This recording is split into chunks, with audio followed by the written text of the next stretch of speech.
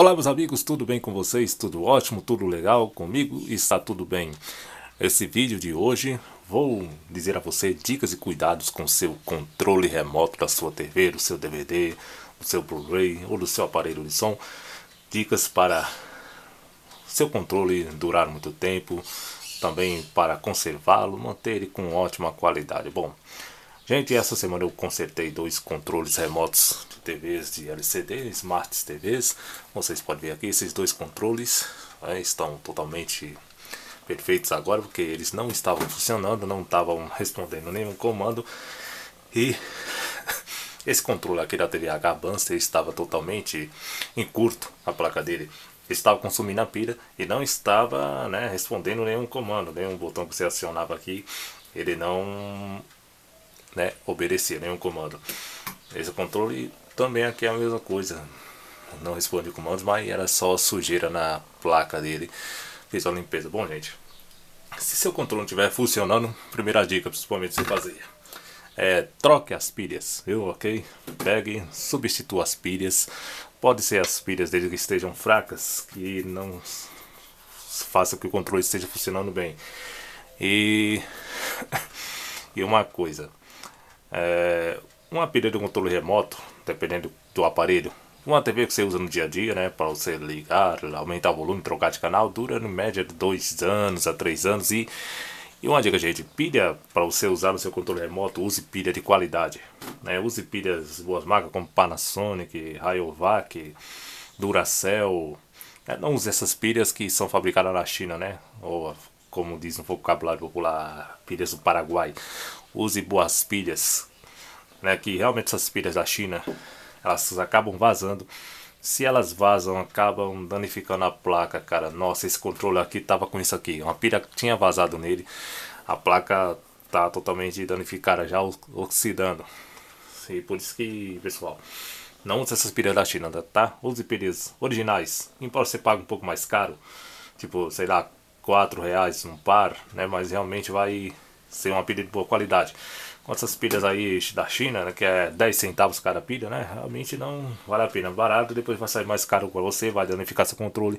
Um controle é, de TV original realmente custa acima de 50 reais, dependendo da marca, custa até 100 reais. Esse controle aqui é um controle similar, né? Um similar não de boa qualidade. O plástico dele de péssima qualidade, ele não aguenta pancada. Ele acabou levando uma pancada, eu tive que improvisar aqui, colocar tipo uma cola de silicone para né, cobrir um pouco do, do dano que causou nele. Tava estraçalhado aqui. Tudo bem. Bom, é por isso que recomendo não use essas pilhas, tá? Essas pilhas importadas. Use somente pilha original para seu controle. E uma coisa, gente. Vou dizer assim, para você saber que o seu controle está funcionando bem ou não, é assim, pega uma câmera, seja a câmera do seu celular, câmera fotográfica, qualquer tipo de câmera, aponte o controle assim para a lente. Se ele piscar esse infravermelho aqui, ó, está funcionando perfeitamente. Ó, pode ver, teste tecla por tecla. Deixa eu ver a melhor posição aqui. Aqui, ó. Esse aqui tem dois LEDs de infravermelho. É, se estiver piscando aqui, você só vai conseguir ver isso se for diante de uma câmera. Seu, através dos seus olhos você não vai conseguir ver nada não, amigo. Então aqui, ó, só testando aqui, cada tecla, volume, teste um por um. Se tiver funcionando todos aqui, o motor tá beleza. Se caso um estiver piscando, pode ser a pilha. Se não for a pilha, pode ser problema na placa dele, ou curto, uma coisa qualquer. Para fazer uma manutenção no controle, eu cobro 20 reais por cada controle, tá? É o preço que deve se cobrar. Não... Realmente, um controle assim, para você substituir um novo, é 30 reais, 50. Um similar, mais ou menos 10, 15 reais. Aqui, ó, se ele estiver assim, o controle está funcionando, uma maravilha. Uma dica que eu dou, gente, para você, que vocês coloquem capa nos seus controles, vai proteger seu controle contra quedas, é, poeira, sujeira. Realmente a poeira também é uma coisa que danifica bastante o controle, gente. Danifica bastante, poeiras acabam entrando no meio das teclas e realmente o desempenho do controle vai lá abaixo. Então, ó, Use capas para controle, além de proteger de queda, vai, seu controle vai durar anos, gente. Coisa assim, barata, capa assim. Você vai encontrar no máximo por 3 reais, 3 reais uma capa dessa aqui. Mas é entre R$1,50, R$2,00, R$2,50, R$3,00, dependendo do local. E uma coisa, se for comprar uma capa você controle, leva o controle remoto na sua bolsa e encontrar um camelô, um, um ambulante, uma loja, para você provar a capa. Não vai comprar as escuras ou as cegas, né? A dizer, ah, isso aqui é com tudo do meu tamanho, ah, eu acho que isso aqui vai dar. Não vale no achismo não, gente. A gente achar, a gente sempre acaba queimando na cara, chega em casa, a capa não dá no controle. Acontece muito isso. Então, leva o controle lá, aonde você for comprar que ele vai totalmente provar a capa, vai conseguir a capa certinha no seu controle. Veja aqui, isso aqui ó, está funcionando. Vou apontar aqui para não acabar ligando na TV. Veja aqui ó, se tiver essa aqui ó, esse LED aqui piscando, totalmente o controle ó, está em perfeitas condições. Realmente aqui eu tenho vários, vários controles aqui. Realmente eu acho que oito controles, é, são oito controles. Né? Esse aqui é o controle do meu Blu-ray Player. Vejam aqui. Já que tá, a casa da luz não tá. Vou apagar a luz aqui para ficar melhor. Aqui, ó. Vamos olhar. Está funcionando, ó, perfeitamente. Vou mostrar aqui todos os controles. Vou colocar aqui mais um receptor. Bora lá aqui, vamos ver. Está, ó. Funcionando muito bem. Esse aqui de outro receptor. Vamos lá, testando. Aqui, ó. Luzinha piscando. Normal, normalmente. Agora aqui do DVD Philips, vamos testar e ó, funcionando bem. É, esse aqui, ó, esse é o controle mais antigo que eu tenho do meu aparelho de som que tem toca-discos. Esse controle aqui já tem já uns 10 anos. Está em ótimo estado. Pode ver está com capa. É, realmente dura muito tempo, gente, o controle assim, você protegendo ele com a capinha bonitinho. Bora lá, vamos ver aqui como está, ó. Totalmente bem, ó, tá piscando ali o infravermelho. Vamos pegar o foco aqui. Olha, ó, tá piscando normalmente. Agora aqui mais um controle de mais um receptor Elsys. Agora vamos testar isso aqui. Ali, ó. Funcionando também. Boas condições. E o último controle aqui. Controle do aparelho de som. Vamos testar ele aqui também. Aqui, vamos lá. Deixa eu ver aqui o melhor. E gente, esse aqui, olha, tá vendo? Esse aqui já tá com a pilha fraca. Pode ver que a luz dele não está tão forte assim como nos outros controles, ó. Porque nos outros controles testando aqui a luz, ó, o infravermelho tá forte. Comparando com isso aqui, ó, tá bem fraquinha. É que as pilhas já está, né? No seu tempo de virar útil já está caindo, então recomendo trocar. É uma, um tempo que uma pilha dura. É a média disso aí. TV dois anos com aparelho assim como o Blu-ray. É, outra coisa assim, chega a durar até 4 anos, né? Dependendo do aparelho, o aparelho que você usa continuamente, diariamente. Bom, gente, eu ia filmar a vocês aqui o conceito do controle, mas câmera está com a bateria descarregada, né? Que ia demorar 8 horas para carregar a bateria. Eu tenho que entregar os controles logo e não podia guardar. Com certeza manutenção. Para fazer manutenção foi simples. Eu peguei totalmente essa espátula aqui de aço inox, né? Para abrir os controles aqui pelas peguei por aqui cuidadosamente por essas frestas aqui, fui abrindo devagar aqui, ó, puxando bem devagarzinho, com todo cuidado para não danificar o controle e abrir o controle.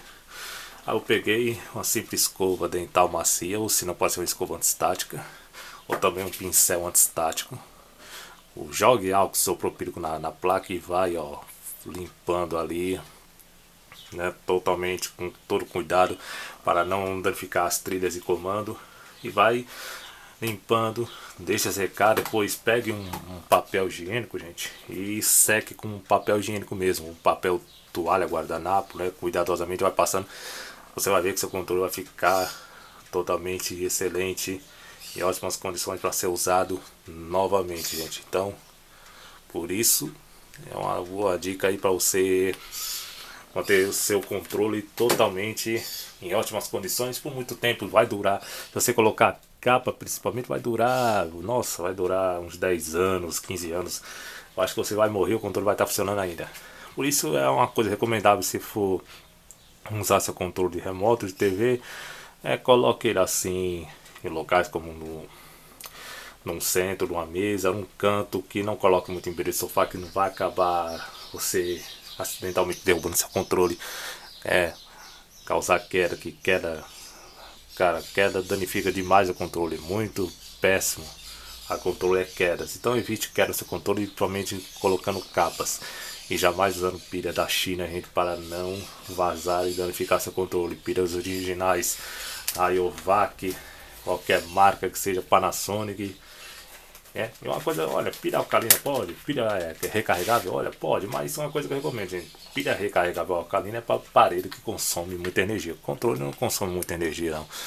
É, pode ser pilha de zinco, é, pilha de zinco que vai durar a mesma coisa de uma pilha alcalina, de 2 a 3 anos Aqui essa pilha Rayovac, ó, de ótima qualidade. Se for usar pilha da China, gente, ave Maria. Eu, quando era criança, comprava muita aquelas mas hoje eu não, não, não confio mais nessas pilhas. Confio ou na Panasonic ou Rayovac. Né? Duracell se for pra coisa assim, consome de energia, tive uma câmera fotográfica é, carro, carrinho de controle remoto, brinquedos, esses aparelhos, consome muita energia, mas para isso aqui é uma pilha de zinco, pilha comum. Você vai comprar mais ou menos no máximo 3 reais ou 4 reais, 4 pilhas. Você coloca nesse controle remoto aqui, gente, ó, vai durar tempo, ó, 2, 3 anos aqui usando perfeitamente. E se colocar a capinha, melhor ainda, gente.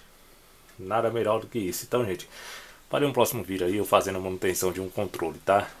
E obrigado aí pelos 65 inscritos, né? O canal aí crescendo devagarzinho pra quando eu comecei era 3 inscritos, né? Só amigos, agora 65. Nossa, é tipo já uma, uma sala de aula super lotada, né? Uma sala de aula. Tem uma faculdade, uma escola aí lotada pela tampa. E tá sendo demais aí. Então, gente, não deixe de avaliar o vídeo. Se você é novo por aqui, se inscreve aí para me ajudar, para me motivar a fazer mais vídeos. Quanto mais visualizações, visualizações tiver, inscritos, né? Vou me sentir motivado. É isso aqui meu incentivo, né? Ganhar mais inscritos e visualizações. Vai ser um incentivo eu gravar vídeos para vocês de tudo, gente. De unbox, de, de, sei lá, conceitos de eletrônica, produtos de informática, alguns produtos que eu comprar, darei dicas para vocês, né? Para vocês, né? o conhecimento, passar conhecimento para vocês, que é uma coisa que a pessoa não leva, né, depois que morre, é o conhecimento. Não custa nada a gente compartilhar conhecimento com todo mundo. Então a gente tá aí uma dica, ó. Coloque capa no controle, use pilha de boa qualidade, jamais pilha do Paraguai chinesa. Capa que seu controle durará por muito tempo. Ok, amigos? Muito obrigado. Até o próximo vídeo. Valeu!